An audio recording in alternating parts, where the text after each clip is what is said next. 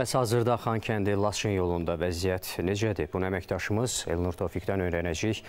Elnur, axşamınız xeyir olsun. Sizi salamlayırıq və sözü sizə veririk. Buyurun Elnur.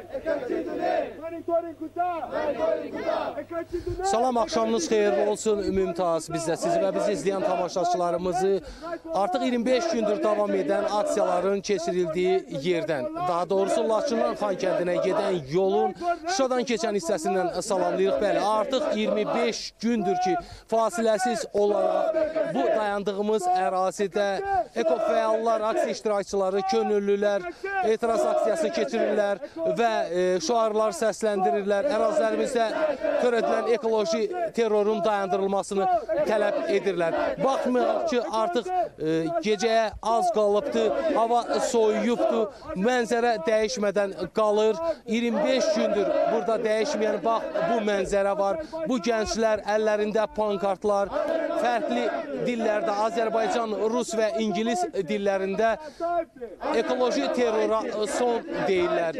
Və e, biz onlarla söhbət edərkən öyrənirik ki, bu gənclərin hərəsi Azərbaycanın bir bölgəsindən bura gəlibdir və bunlar bu könüllüləri birləşdirən yalnız bir məqsəd, bir amal var ki, ərazilərimizdə, suveren ərazilərimizdəki ekoloji sərvətlərimizə, sərvətlərimizə, ekologiyamıza sahib çıxmaq və orada törədilən qarətin qarşısını almaqdır. Və ümumilikdə bildirək ki, artıq 25 gündür ki, bu aksiya davam edir və 25 gündə e, ərazilərimizdən qanunsuz yüklər çıxarılmır və ərazilərimizə qanunsuz yüklər gətirilmir. Elə bu burada şüarlar səsləndirən gənclərin sayəsində.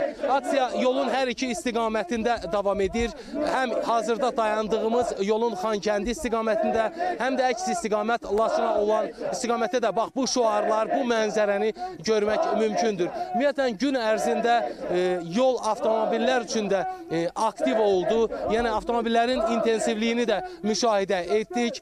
Baxmayaraq ki, burada aksiya keçirilir. Bu aksiya əslində dinç xarakter daşıyır. Ümumilikdə 21 avtomobil, bunlardan 6-sı Beynəlxalq Qızıl Xaç Komitəsinə məxsus avtomobillər idi ki, heç bir məhdudiyyət olmadan buradan hərəkət etdilər. Digər yerdə qalan 15 avtomobil isə ərazilərimizə müvəqqəti dayanan Rusiya sülhməramlı kontingentinə məxsus təminat, təchizat və minik avtomobilləri idi. Yəni buradan humanitar keçid üçün e, sülh məqsədi ilə, barış məqsədi ilə e, keçid mümkündür.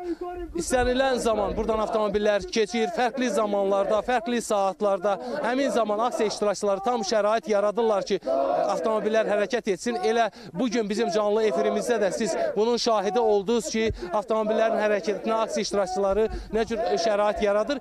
Yalnız onlar bildirirlər ki, bizim tələblərimiz var və bu tələblər mütləq şəkildə yerinə yetirilməlidir və o tələblər yerinə yetirilənə qədər bu aksiya burada davam edəcək. Bu görüntülər burada qalacaq. Baxmayaraq ki, soyuq, qar, şaxtalı hava şəraiti hökm sürür Şuşada. Həqiqətən də bu, bu, bu saat da e, çox soyuq hava var Şuşada və bu soyuq hava ümumiyyətlə bu aksiyaların keçirilməsi e, aksiya iştirakçılarının motivasiyasına, əhval-ruhiyyəsinə heç bir təsir göstərmir. Əslində onlar biraz da qətiyyətləşirlər və dinc şəkildə öz mübarizə və mücadelələrini davam etdirirlər.